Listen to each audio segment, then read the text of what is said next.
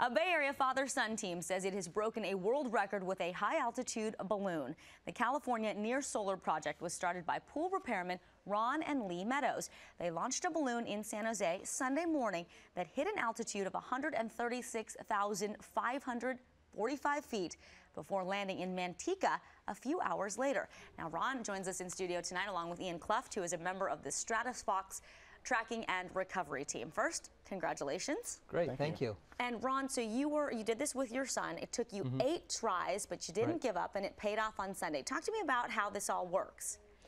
Um, it was kind of a long process. Uh, we started off sending up balloons into the stratosphere to get pictures of uh, the Earth's curvature, uh, to get our equipment up that high, which we felt was amazing.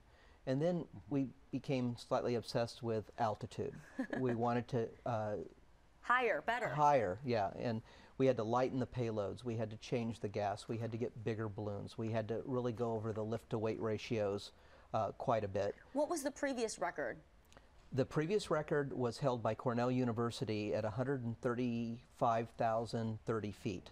So you beat it by just 1,515 feet. And that was, you said, 100,000 feet higher than airplanes 100, fly? 100,000 feet higher than airliners go. Amazing. Yeah. So what we're looking mm -hmm. at here, if I may. This is it. This is, you said the payload, right? This little styrofoam. Right.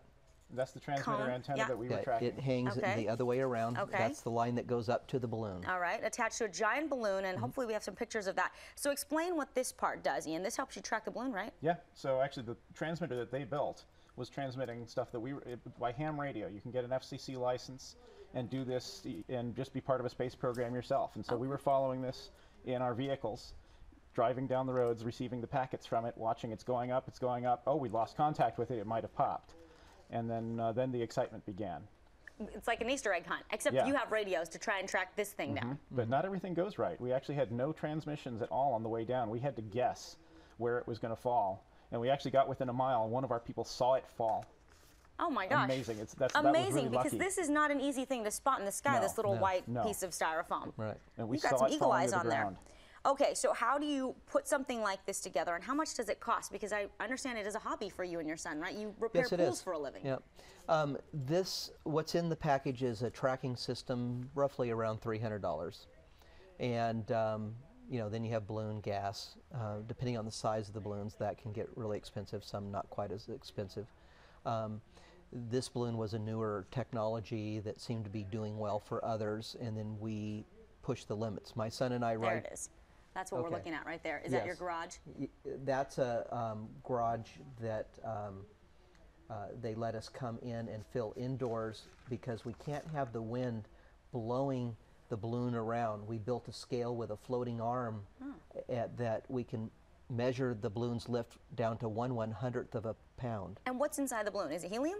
Or what do you we, used? We went to hydrogen. Hydrogen, oh, yeah. okay. So it can be kind of dangerous too. It's flammable. It, it, it, can be if you don't understand it and you don't do the right things. Okay. But we're perfectly safe with it. Of course. So and let's talk don't about. Don't try that at home. No, don't try that at home. With, well, it's a hobby, and you know, it doesn't right. sound like you spent a whole lot of money, but you were up right. against a team of Cornell students, right, that had spent thousands of dollars. Right. Right.